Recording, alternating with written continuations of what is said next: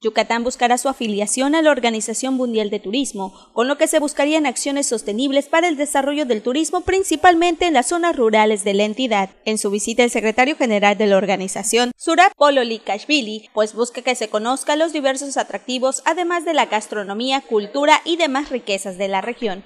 Y la idea es que crecer un red de pueblos que uh, van a comunicar más, que de hecho ya estamos terminando una plataforma y una página web donde va, vamos a promocionar todos pueblos, mejores pueblos a nivel mundial.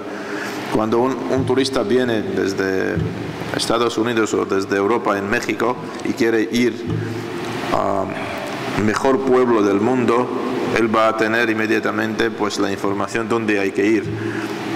Por eso yo creo que no, no, tengo ninguna duda que vamos a presentar en este año 20 mejores pueblos del mundo. Uno de ellos va a ser desde Yucatán y mm, otra vez queremos aprender y saber más cómo desarrollar uh,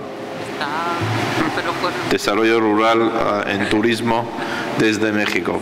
Por su parte, Michelle Friedman, secretaria de Turismo de Yucatán, mencionó que el 2020 dejó la peor crisis en la historia del sector. Sin embargo, recalcó que en Yucatán se han creado estrategias para permitir que el turismo se reactive y alcanzar las cifras que se tenían antes de la pandemia del COVID-19.